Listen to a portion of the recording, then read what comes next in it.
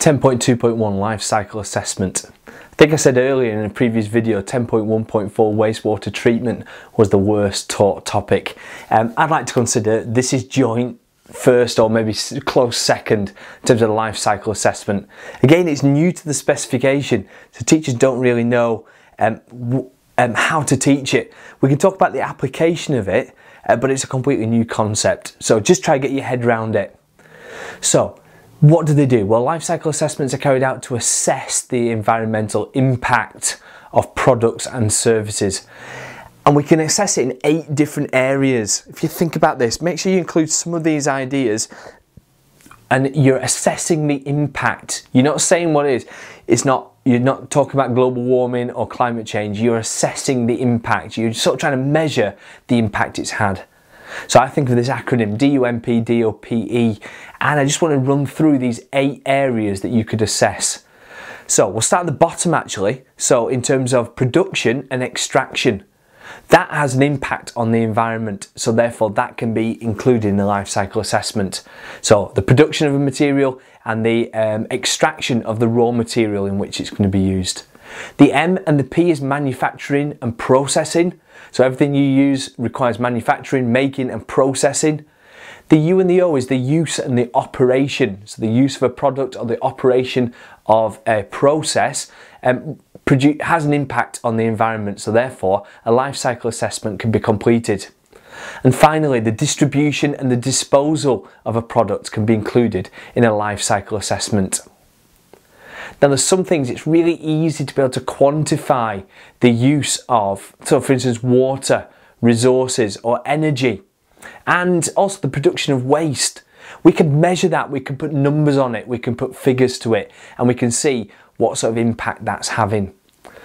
But measuring the effect of a pollutant isn't easy to quantify. So we might say we're reducing the amount of carbon in one area, but we were increasing the carbon in other areas.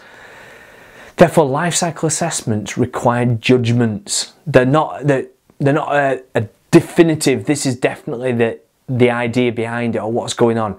It's an assessment. It's just saying this has an impact. We need to consider the impact this has on the environment. Now, what if you just did a smaller life cycle assessment, so a selective or abbreviated life cycle assessment? That's where you include the things if you want to to make a process look bad, just include the big areas that are causing uh, an impact on the environment and ignore others, or ignore big areas and just put small um, considerations in there. That means selected or abbreviated LCAs or life cycle assessments can be misused to reach predetermined conclusions. We talked about bias as well, where we look at the idea of I've got an idea about what I want, what I think is going to be the best outcome, and I present evidence to make that the case. We want to get rid of that predetermined ideas or conclusions or the, uh, the imposition of bias. So you need to be able to look at that in terms of data. For instance, plastic bags and paper bags. Well, straight away you might go, well, paper bags are better for the environment uh, because they are uh, recyclable um, so you can recycle the paper easily. And we know plastic bags, they don't recycle very easily. And if you put them in landfill, they fill landfill up and they have an impact on the environment there. But we've not just got to consider what our preconceived ideas, we've got to look at data and we've got to consider those eight stages we talked about earlier. They are processing and extraction, manufacture and processing, uh, use and operation, and distribution and disposal.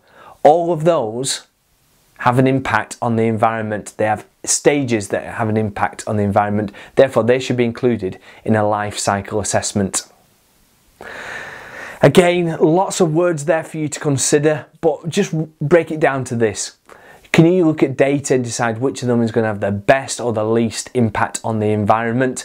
And can you argue in terms of different areas that might be included in a life cycle assessment?